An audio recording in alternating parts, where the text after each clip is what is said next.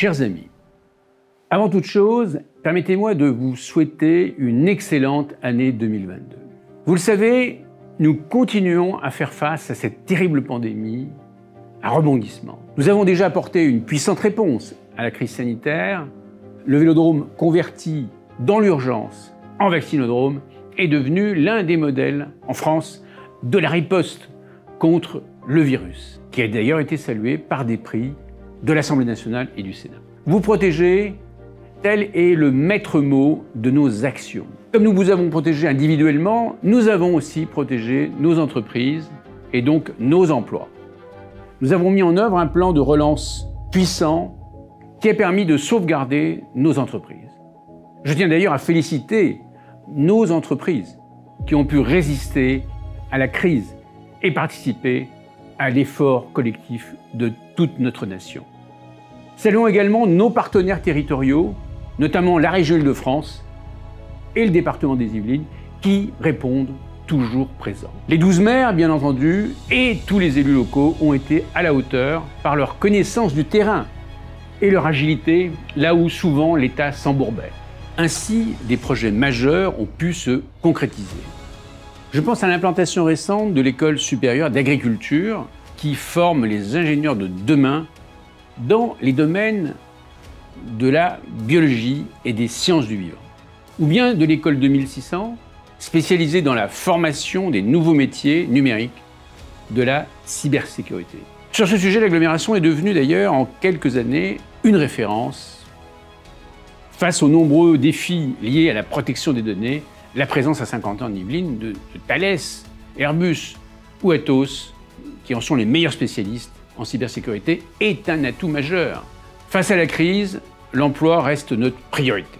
Nous mettons en œuvre des initiatives concrètes, comme par exemple le Salon de l'étudiant ou la journée emploi qui permet aux candidats d'aller à la rencontre des entreprises ainsi que l'action de Sky Business Day qui accélère les échanges et l'activité interentreprises.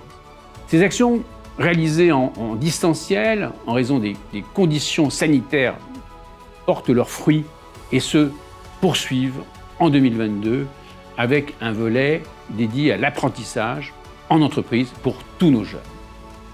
L'innovation se décline au présent sur notre territoire nous avons lancé le premier réseau de trottinettes électriques et c'est un véritable succès avec plus de 35 000 usagers aujourd'hui. Et dans quelques semaines, nous intensifierons aussi le déploiement de recharge pour les véhicules électriques en maillant tout le territoire de Saint-Quentin. La sécurité est aussi une de nos grandes préoccupations. Notre futur commissariat d'agglomération permettra d'assumer une coordination plus efficace des 380 policiers nationaux à Saint-Quentin et de renforcer considérablement la sécurité de nos administrés sur l'ensemble du territoire. Cette nouvelle structure constituera une véritable innovation pour l'expérimentation des nouvelles technologies dans le domaine de la sécurité au niveau national. Nous lancerons officiellement notre projet en 2022 d'hôpital du futur également, qui révolutionnera et facilitera notre accès aux soins médicaux avec par exemple le développement de l'e-santé. Les services publics de demain se construisent dès aujourd'hui à 50 ans. Rendre notre territoire plus attractif, plus sûr, plus connecté est un véritable challenge. Il s'agit de faire de Saint-Quentin en Yvelines la plateforme d'exemplarité de l'intelligence numérique et de la croissance digitale en France. Les résultats sont plus qu'encourageants. Par exemple, Saint-Quentin en Yvelines a été mis à l'honneur à l'exposition universelle de Dubaï. La transformation de la pédagogie scolaire dans nos écoles est montrée en exemple au monde entier. Oui, l'éducation, grâce au numérique, va devenir l'outil le plus puissant pour changer le monde. Et il en a bien besoin. La plus grande inégalité est dans le manque d'accès à la connaissance. Et demain, justement, grâce au numérique, on va démocratiser la réussite. On va la rendre accessible à tous. Vous l'aurez compris, à Saint-Quentin, en Yvelines, nous voulons être un accélérateur de croissance, un démultiplicateur de talents et un facilitateur pour les entrepreneurs. C'est même d'hypercroissance dont nous avons besoin pour sortir notre pays de l'impasse de la dette, du déficit et du chômage. Et loin des discours moralisateurs, nous défendons aussi une écologie de terrain.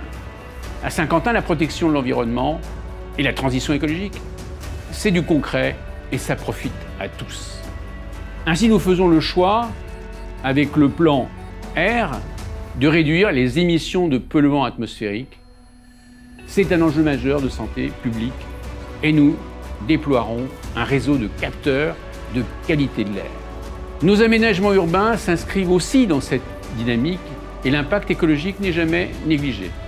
Et nous le prouvons, que ce soit pour l'écoquartier de la remise à voisins, la requalification de l'hypercentre de Montigny, le bassin du buisson de Magny, ou encore dans l'aménagement de la colline Elancourt, dans le cadre des Jeux olympiques et paralympiques de Paris 2024. Le compte à rebours des prochains JO est lancé. C'est un événement mondial majeur pour Saint-Quentin qui devra être à la hauteur. Le monde entier aura les yeux rivés sur nous. Le sport incarne les plus belles valeurs qui font réussir l'homme et nos grands champions nous le prouvent tous les jours avec les valeurs travail, rigueur, respect, dépassement de soi, engagement. Et ce sont ces valeurs d'excellence que nous voulons insuffler à nos enfants, mais aussi à nos jeunes entrepreneurs.